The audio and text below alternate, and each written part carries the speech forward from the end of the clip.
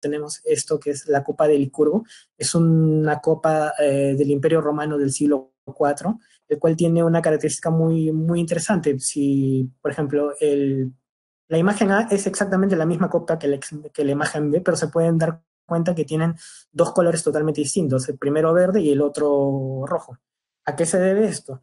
La imagen A se está, si ven, a, qué dice, el cristal aparece verde cuando se ilumina el exterior. Entonces tenemos el, la copa mm, simplemente interaccionando con la luz y lo vamos a ver de, de, color verde. Y es una interacción tanto entre la luz que llega a la superficie de la copa y, refleja este, los rayos, entonces vemos ese color.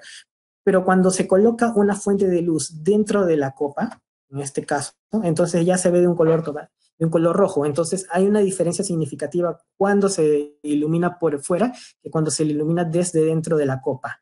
¿Y a qué se debe esto? Bueno, se investigó más o menos, se analizó el parte de la copia y se ha encontrado presencia de nanopartículas de plata, oro y cobre que se dispersaron sobre la matriz de vidrio. Ustedes saben que, bueno, el vidrio es algo así como un fluido súper condensado, o sea, tiene una alta viscosidad. Y bueno, cuando está en formato líquido, pues han aprovechado para agregarle nanopartículas de oro, cobre y plata. Obviamente no estamos seguros si es que los artesanos de esa época eran conscientes de que estaban trabajando con nanopartículas, pero sí sabían que al trabajar eh, los metales por una determinada síntesis y agregarlos en, en lo que es este, los materiales vidriosos, sí le daban estas características ópticas tan vistosas. Y además, esta copa de Licurgo es reconocida como uno de los nanocompuestos sintéticos más antiguos. Es reconocido, eh, reconocido sí, pero probablemente ya se trabajaba con esto desde hace mucho antes, entonces simplemente que no ha sobrevivido. Entonces, se puede ver que sí se lleva buen tiempo trabajando, tal vez inconscientemente, pero sí se trabajaba con nanomateriales desde la antigüedad. Bueno, y esto es en la Roma antigua, que es parte de la sociedad, o sea, la antigua sociedad occidental, pero también tenemos ejemplos, eh, perdón, en, en, la Edad Media, en los vitrales medievales, también estos vitrales que se colocan en las catedrales, que fueron muy populares en, la, en esas épocas para, las iglesias, para las catedrales en estilo eh, gótico, eh, ¿cómo se llamaba esto? Pero bueno, cuando, cuando, sí, hacían este tipo de catedrales y, no y trataban de, de iluminar, de colocar imágenes, bastantes imágenes en un mismo lugar. Esto que era de la contrarreforma, el estilo barroco, bueno, en fin. Entonces se ve que estos cristales también, al analizarlos, se han encontrado nanopartículas también de oro. Generalmente, verán que siempre lo que se habla de nanopartículas con propiedades ópticas, generalmente estamos hablando de nanopartículas de oro y plata, o si no semiconductores. Pero los semiconductores no eran tan conocidos antiguamente y sí los metales preciosos como el oro y la plata y el cobre.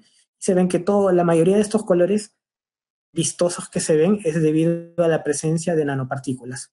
¿sí? Pero no solo en la Europa antigua tenemos presencia de que el hombre haya estado trabajando con, con nanomateriales, también se ve en pinturas antiguas de la cultura maya, algo que se llama el, el índigo, el azul, el índigo maya. El azul maya, que sería el índigo maya, es una mezcla, este azul que nosotros estamos viendo en algunas pinturas de la cultura maya, es, es formado, después de que se ha analizado, se ha visto que es una mezcla tanto del, del índigo, que es un colorante este, orgánico natural, y de una, este, una arcilla llamada paligorskita. ¿Qué es lo interesante en esto? Que la paligosquita, esta arcilla tiene unas cavidades nanométricas. Entonces, dentro de esas cavidades nanométricas, los antiguos artesanos mayas, al mezclar el índigo, que es un colorante orgánico y natural, al mezclarlo con esta cerámica, el índigo o las moléculas del índigo pues se depositaban en las cavidades de este, este material cerámico.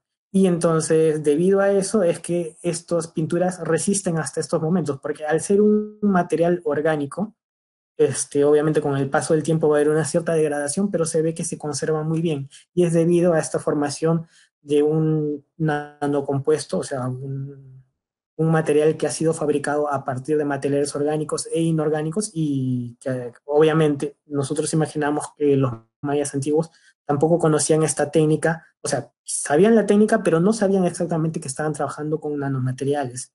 Entonces, esta hacían lo, lo, mejor que podían con el conocimiento que tenían en esa época, pero ya sabemos que incidentalmente por lo menos los seres humanos han estado trabajando con nanomateriales desde la antigüedad, solo que obviamente desde hace unos cerca de 40 años aproximadamente ya se trabaja con una perspectiva científica y tecnológica a estos materiales, pues no, se le da unas aplicaciones que son mucho más avanzadas y refinadas y entendemos un poquito mejor cómo es que emergen estas propiedades, cómo podemos controlarlas y aplicarlas para nuestro beneficio. Pero sin embargo, no, no podemos despreciar que en la antigüedad también el ser humano fue muy hábil y llegó a dominar técnicas de preparación de, nanomateriales, ¿no?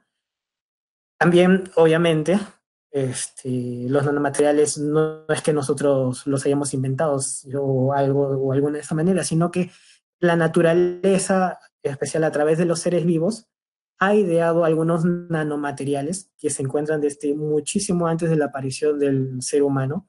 Y también por lo mismo, por las propiedades que presentan los materiales, los seres vivos también han sabido aprovecharlas para lo que necesitan, pues, ¿no? Por ejemplo, hay innumerables ejemplos, pero voy a mostrarles algunos. Por ejemplo, lo que tenemos aquí es una bacteria, una bacteria magnetostática. La curiosidad de esta bacteria es que pueden ver aquí que se encuentran con, como unas particulitas estas partículas, cuando se han analizado, son nanopartículas cúbicas de óxido de hierro, de magnetita. Y estas nanopartículas están cubiertas con una capa lipídica que también está envuelta en unas proteínas. Y lo que siempre se ve es que son estas nanopartículas se encuentran en una filita se encuentran alineadas. ¿Por qué? Porque, a ver, nosotros sabemos que el óxido, bueno, si no lo saben, pero más adelante vamos a tener un capítulo especial para el óxido de hierro, en especial la magnetita y la magnemita, tienen propiedades magnéticas. Entonces, esta serie de nanopartículas que se encuentran dentro de las bacterias, que se conocen como magnetosomas, al estar alineados, actúan como una especie de brújula para las bacterias. Entonces, estas bacterias son sensibles al, campo magnético que produce el propio planeta Tierra. Entonces, con las líneas de magnetización que produce el propio planeta Tierra, estas bacterias eh, se dirigen hacia lugares que les brinde mejores nutrientes o que sean más adecuados para que ellas sobrevivan. Entonces, la naturaleza misma, a través de, la evolución, ha permitido la aparición de, estos orgánulos dentro de las bacterias. Lo que hasta ahora no se sabe es cómo estas bacterias consiguen sintetizar estas nanopartículas, porque lo que se ha demostrado es que tienen mejores propiedades con, respecto a magnetización, a estado de oxidación, que las, que las nanopartículas que nosotros, que bueno, los seres humanos y los investigadores consiguen producir. Entonces, tienen unas propiedades superiores a las que los seres humanos están fabricando, pero lo que queda en discusión ahora es cómo lo hacen, cuál es la forma de síntesis. Disculpen. La forma de síntesis de estas nanopartículas, cómo es que estos seres unicelulares que ni siquiera tienen un núcleo definido pueden, pueden crear esto, pues gracias a la evolución se han obtenido eso y es un mecanismo, una respuesta que se han encontrado para este, desplazarse medio ambiente, ¿no? Sí. Esas nanopartículas, por lo menos, van de 15 a 20 nanómetros. No, no pueden ser tampoco. Yo creo que van de 15, 20 por 50 nanómetros. Eh, son esas nanopartículas para que ya presenten las, propiedades, las propiedades, porque estas sí son propiamente nanopartículas, son este, ya cuando lleguemos a la parte de materiales magnéticos del óxido de hierro, vamos a ver que hay un cambio de lo que normalmente las, el óxido de hierro magnetita tiene propiedades este, ferrimagnéticas y una distribución de multidominios, ya estas nanopartículas sí ya están dentro del campo de los monodominios, que es una propiedad que solo emerge en los nanomateriales y eh, tienen superparamagnetismo. Y eso normalmente aparece por debajo, bueno, el monodominio debajo de los 50 nanómetros y el superparamagnetismo por debajo de los 25 nanómetros. Pero bueno, es súper interesante cómo, cómo, cómo, estos seres unicelulares pues eh, produjeron naturalmente y tienen esto, ¿no? Este, sí, eh, bueno, ¿puedo continuar? Y por otro lado, también tenemos en el lado de las bacterias también algo que se llama la celulosa bacteriana, Aquí lo que pueden ver es un cultivo. Si ven esta parte amarilla es donde sería el cultivo celular, este, el cultivo bacteriano, perdón, donde tenemos este, los nutrientes que se le dan a estas bacterias. Y, lo, y si se dan cuenta, por encimita en la superficie hay como un material blanco. Este material blanco es como una esponjita, este, como una esponjita blanca este, que surge naturalmente. ¿Qué, ¿Qué, sucede? Que cuando tú cultivas estas, cuando se cultivan estas bacterias en un medio adecuado para que crezcan, estas bacterias producen unas fibritas que pueden ver aquí en la microscopía, unas fibritas bien pequeñas de celulosa. Entonces, si se dan cuenta, es, las, las fibritas pues tienen el, dimensiones longitudinales de aproximadamente micrómetros, este, pero eh, el diámetro de esas fibritas rondan los 10 nanómetros.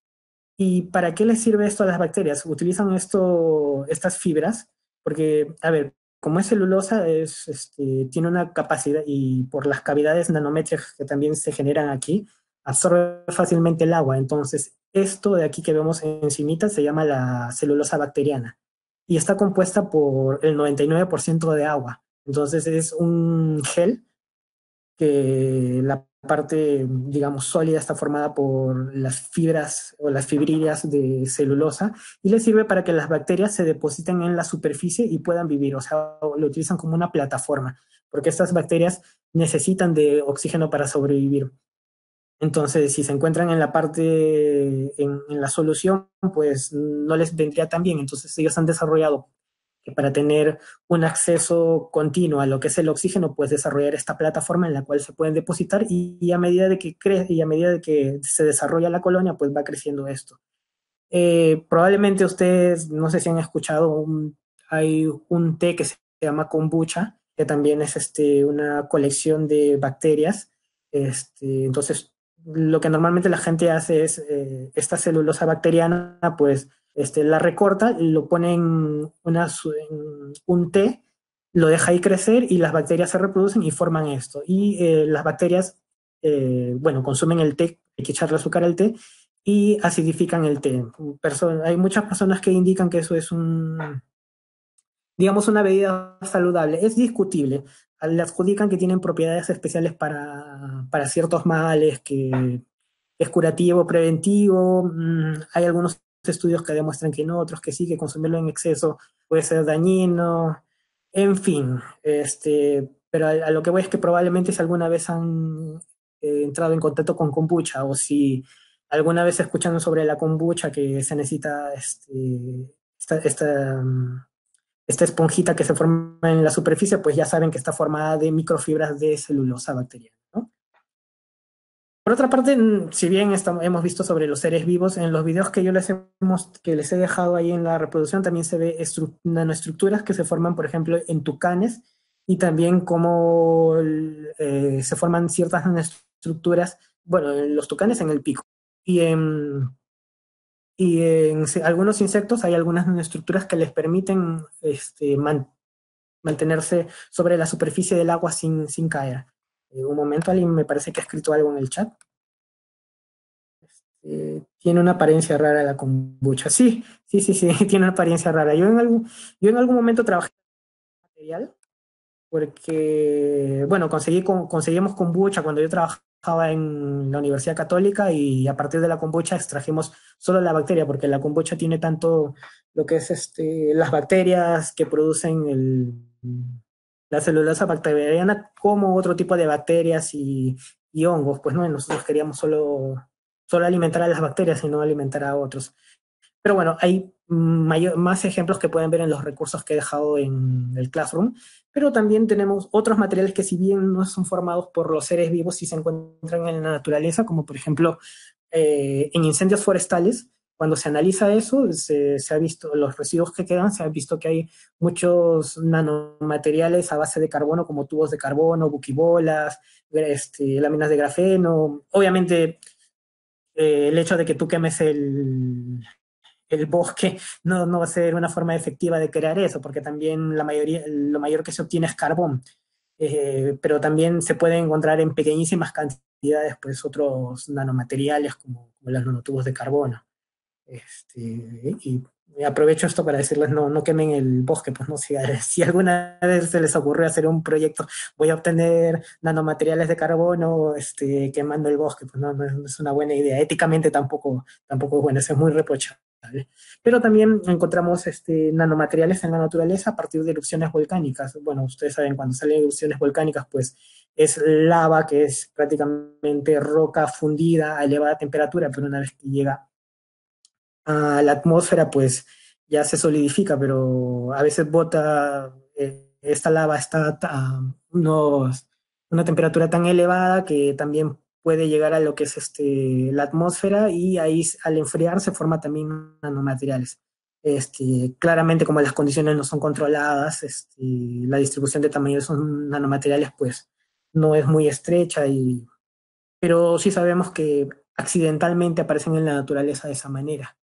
Y también cuando se ha hecho análisis del polvo, del polvo cósmico este, que se encuentra en el universo entre bueno, probablemente ustedes sepan, en el universo pues es prácticamente espacio vacío, pero se encuentran muchas pequeñas partículas a las cuales se llaman el polvo cósmico, que está entre, que, que, puede ser tan grande como si fuese una partícula pequeña e incluso llegan a ser de tamaño micrométrico y también hay este, estructuras nanométricas. Entonces vemos que también accidentalmente en la naturaleza los, los fenómenos naturales del universo también forman, obviamente sin pensarlo, este, nanomateriales por ahí, ¿no? Entonces, no, con esto les, les quiero pasar la idea de que los nanomateriales no simplemente son unos materiales sintéticos que el hombre ha desarrollado y todo eso, ¿no? Ya están presentes en la naturaleza desde hace mucho tiempo, en los seres vivos y nosotros pues somos los últimos que los hemos descubierto, pero somos los mejores que le estamos dando, que estamos aprovechando sus, este, sus propiedades. Pues, ¿no? Y en este curso vamos a ver cómo esas propiedades se aprovechan en el campo médico y de la biomedicina. Bueno, también, este, por ejemplo, no lo he puesto aquí, pero también en tormentas de arena se observa que cuando se analiza la, la, arena que se levanta y que se queda en suspensión, como si fuese un aerosol, pues hay muchas de esas partículas que son en la escala nanométrica. Este, ¿Hasta aquí hay alguna duda? ¿Todo bien? ¿Se entendió?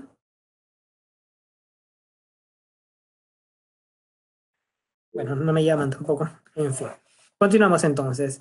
Eh, sí, como les estaba explicando, pues es cómo la, natura, cómo la naturaleza crea estos nanomateriales sin pensarlo, porque no hay una conciencia detrás que exactamente cree, piense en nanomateriales, que sepa qué, qué, propiedades tiene y piense en cómo utilizarlos. Son totalmente accidentales. Y en la naturaleza, en los seres vivos, pues también surge por los procesos de de, evolución, de selección natural, pues no probando algo, pues casualmente sucedió eso, este, le funcionó para obtener una mejor tasa de supervivencia y se desarrolló y se pasó a los siguientes seres vivos. Pero en los seres humanos, pues hay un punto de partida en el cual se habla del nacimiento de la nanotecnología. Y esa es una charla que dio Richard Feynman el 29 de diciembre de 1959, que fue una, fue una charla que dio en la, en la, en la American Physical Society llamada There's Plenty of Room at the Bottom, que es algo así como hay mucho espacio en el fondo. Y en esta charla él habla sobre mm, cuáles podrían ser, una, eh, da su visión, sus ideas sobre cómo se podría construir este, entidades en escala muy pequeña. ¿Cómo podríamos utilizar ese tipo de entidades pequeñas en la escala de lo, de lo micrométrico y lo nanométrico para tener este, mucho provecho. Pues aquí surgió la idea de construir, por ejemplo, máquinas en escala nanométrica que ordenen átomos según lo que queramos y hagan síntesis químicas por manipulación mecánica. Entonces, si bien en ese entonces sus ideas fueron muy avanzadas, que tal vez uh, en ese entonces y ahora todavía puedan eh, sonar un poco a ciencia ficción, sí que sembró la semilla y muchos consideran el primer pistoletazo desde donde salió lo que es la nanotecnología, o sea, inspiró a muchas personas a tomar en consideración el estudiar cómo los materiales se comportan a escala nanométrica, ¿no? Y ven, esta, conferencia es considerada como el nacimiento de la idea y del estudio de la nanotecnología. Entonces, vemos que ya desde este, 1959, prácticamente en 1960, ya la idea estaba abordando en los círculos este, de investigadores eh, en Estados Unidos y de ahí pues ya se va este, dispersando a, más adelante, ¿no? Pero no tenemos este, bien definida la idea de nanotecnología hasta más o menos mediados de los 70. Eh, mediados de los 70 sí que ya hay investigadores que ya trabajan más y van direccionando más este, la idea de la nanociencia y la nanotecnología, este, proponiendo ideas, haciendo experimentos, cosas muy similares. Ya en los años 80, por ejemplo, la NASA ya estaba trabajando con nanopartículas.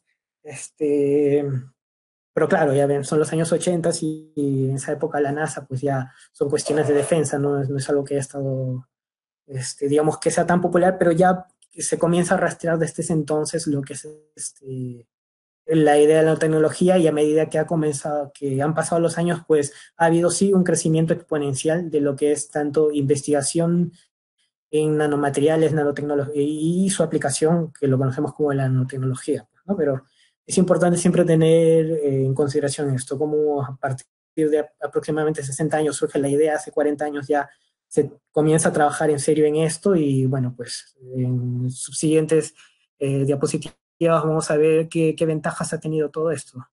Eh, ahora, es importante hacer una distinción, siempre se hace una distinción, por lo menos si esto fuese una charla de, filosofía de la ciencia, ver qué es ciencia y qué es tecnología. Muchas personas confunden a veces lo que es ciencia y lo que es tecnología.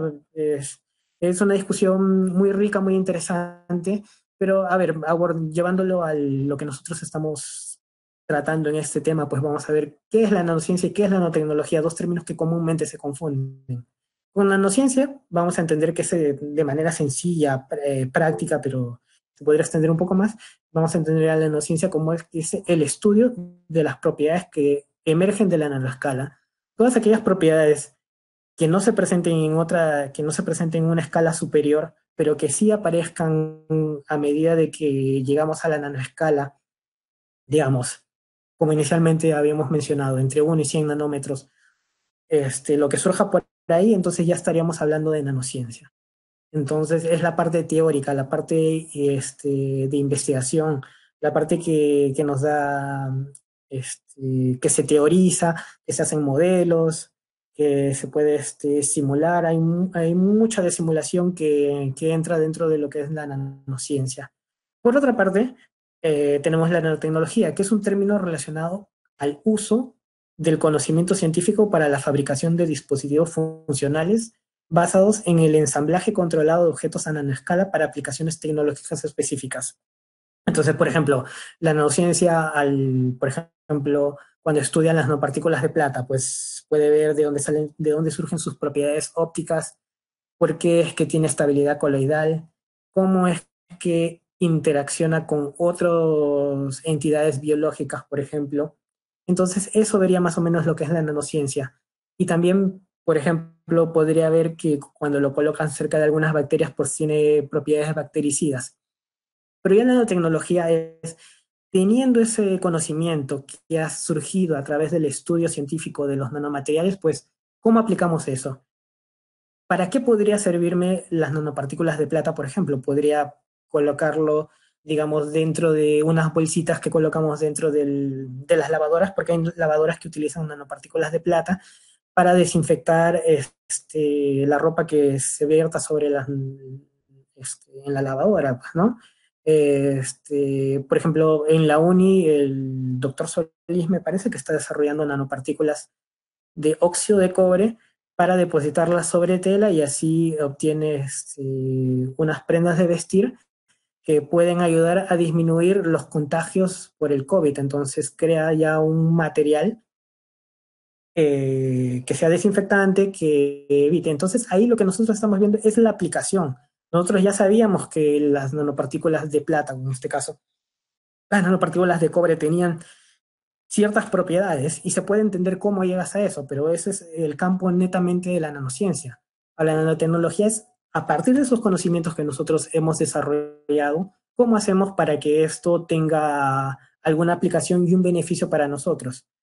Eh, normalmente eh, la nanociencia, la ciencia avanza en el sentido de querer determinar, este, tener respuestas a cosas teóricas, a bases fundamentales, pero ya la tecnología sí es una aplicación, ¿no? Entonces, van muy de la mano. Entonces, a veces eh, una persona se dedica a ver algo de nano, eh, por ejemplo, estudia un nanomaterial, quiere ver cómo emergen sus propiedades físicas y más adelante otro colega que lee eso o la misma persona pues puede pensar para qué me sirve eso y le da una aplicación o al revés puede ser que por ejemplo yo esté buscando algunas nanopartículas para hacer una separación magnética pero no sé cuáles ni, ni sé si es que probablemente pueda hacer eso pero voy a la nanociencia a los estudios nanocientíficos y puedo ver que alguien ya estudió eso y aplicarlo entonces son formas del conocimiento que están en estrecha relación y que y que sirven, bueno, para, para obtener este, materiales que nos sirven, pues.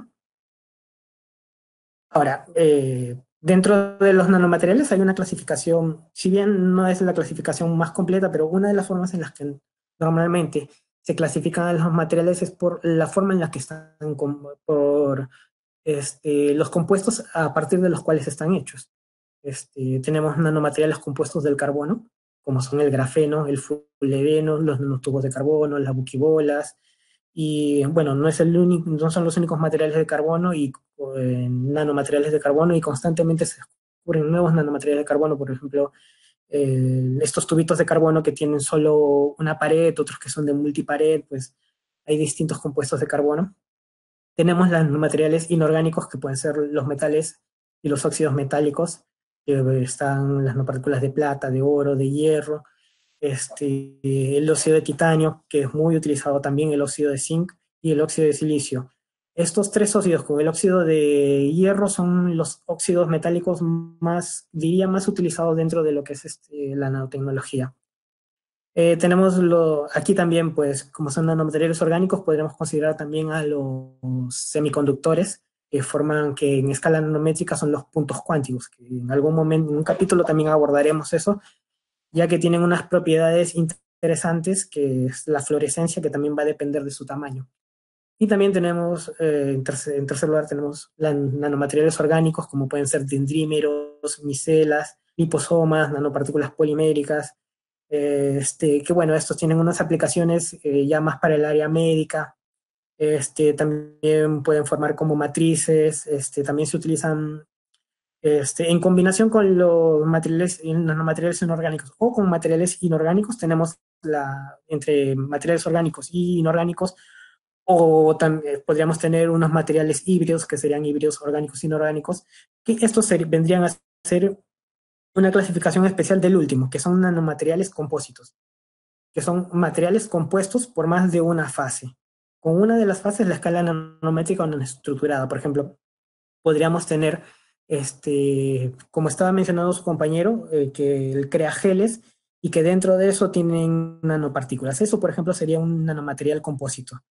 Eh, no sé si es exactamente lo que trabaja el compañero, pero podríamos tener nanopartículas, digamos, de óxido de titanio y eso eh, distribuirlo dentro de una matriz polimérica. Entonces, si bien la matriz polimérica ya sería un, un medio en escala macroscópica, las nanopartículas que están encapsuladas dentro de esa matriz polimérica pues ya son nanomateriales. Y a eso, a esa combinación entre materiales de, que, tienen por lo menos una fase nanométrica con otro material que puede ser también, por ejemplo, tendríamos, existen unas un tipo de nanopartículas que se llaman las nanopartículas Janus, este, probablemente las abordemos más adelante, no creo que no las programé, pero por ejemplo son, es como si tuvieras dos pelotitas juntas, pegaditas. Eh, este, como que dos globitos que los hayas unido por la parte donde, donde los atas los globitos. Entonces te das cuenta, y una de ellas puede ser una partícula de plata, digamos, y la otra puede ser una partícula de hierro. Entonces, ambos son dos nanomaterial, dos nanopartículas, pero que se encuentran juntas. Entonces, es, esa unión entre dos nanomateriales también puede ser un nanomaterial compósito, pero también podría ser un nanomaterial como, digamos, una nanofibrilla que esté en un material macroscópico. Entonces, eh, los nanomateriales compósitos sí son, son muy utilizados. Veremos muchos también nosotros en lo que es este, nanomateriales para aplicación biomédica, porque, a ver, eh, por ejemplo, las nanopartículas de oro Si nosotros lo utilizamos solitas, ¿qué tendríamos? Que en la superficie hay átomos de oro, pero esos átomos de oro no pueden interaccionar fácilmente con estructuras biológicas. Entonces necesitamos colocar en la superficie algunas moléculas orgánicas para que eh, puedan interactuar con entidades biológicas. Entonces ahí estaremos creando un material compósito. Entonces casi todos los nanomateriales que se aplican para biomedicina también son necesariamente nanomateriales compósitos.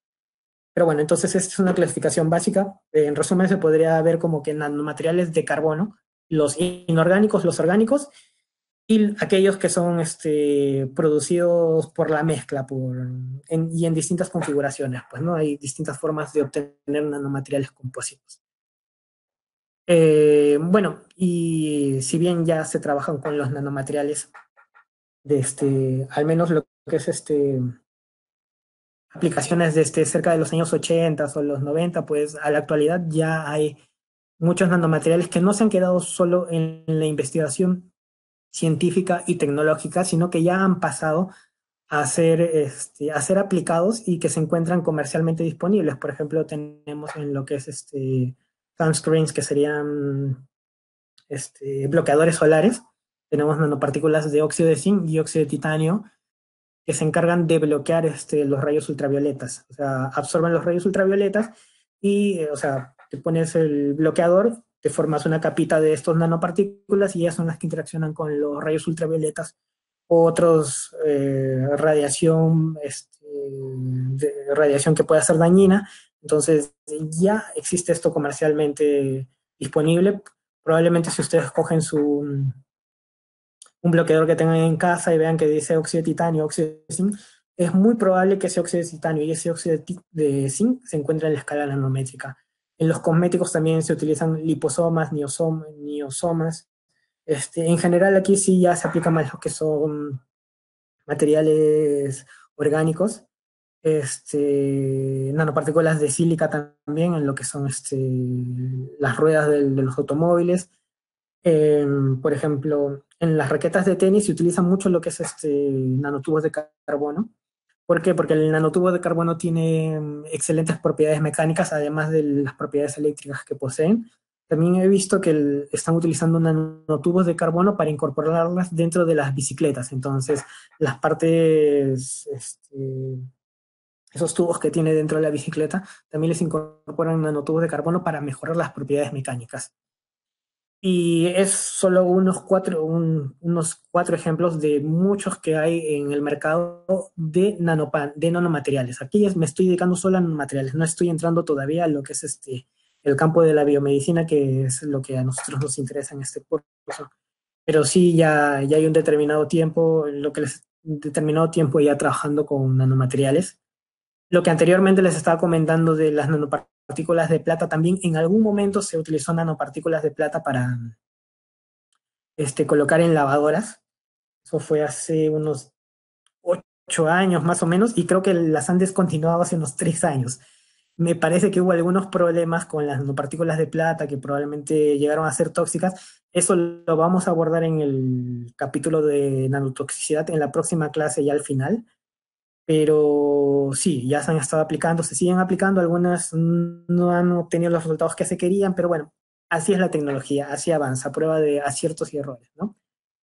Este, como decía, hay varias compañías que se encargan de producir nanopartículas. En la tabla podemos ver, un momentito que voy a tomar agua.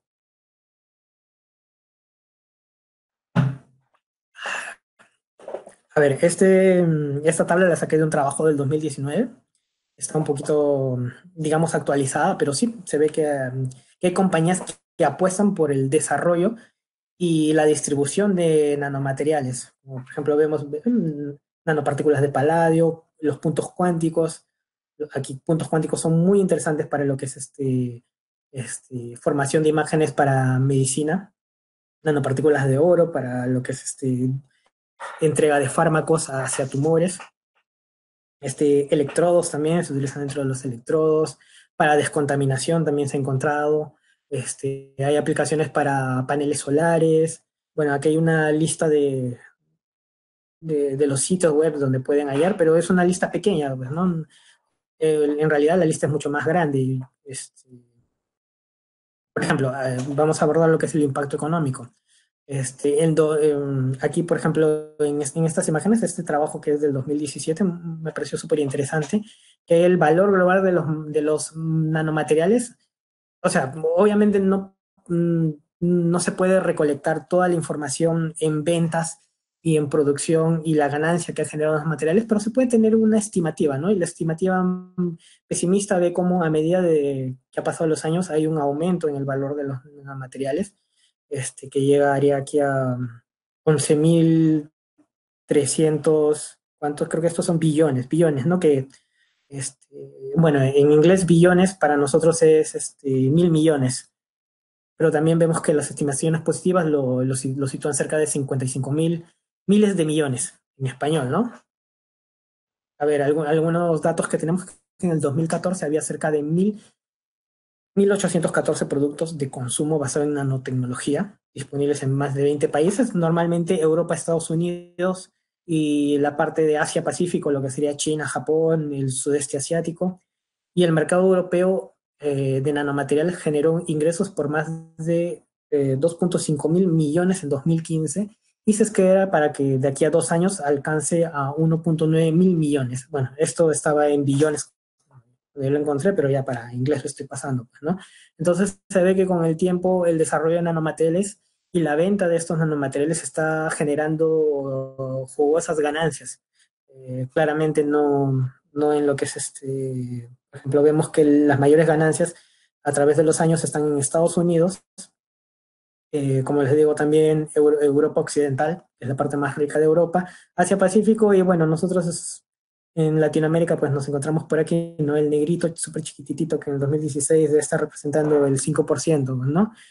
Eh, hay una tabla sobre, también les dejo, sobre patentes y demanda global. Este, Estados Unidos, ven, este, la parte Asia del Pacífico también, Corea del Sur, Japón, Taiwán, China, este, serían los países que más están generando patentes. Y bueno, generan patentes ¿por qué? Porque les está eh, produciendo beneficios económicos. Y es algo, una tecnología que lleva apenas 20 años. Este, hay muchas personas que están hablando que nosotros nos encontramos en, en la época del desarrollo tecnológico de los nanomateriales que nos va a brindar este, muchos beneficios, nos facilitará lo que es este, la vida. Pero bueno, se, se ve que al, menos las estadísticas muestran que año tras año estamos teniendo un, estamos generando este, ganancias con, con, la producción y venta de nanomateriales. Entonces es muy importante que también nosotros aquí en Perú no, nos interesemos en esto. Es una... Eh, es un área económica que se tiene lamentablemente abandonada, como muchas cosas en el país, pero que podemos dar, este, aprovechar esto. Para esto necesitamos formarnos entender bien cómo se trabaja con los materiales y a partir de eso buscar una aplicación.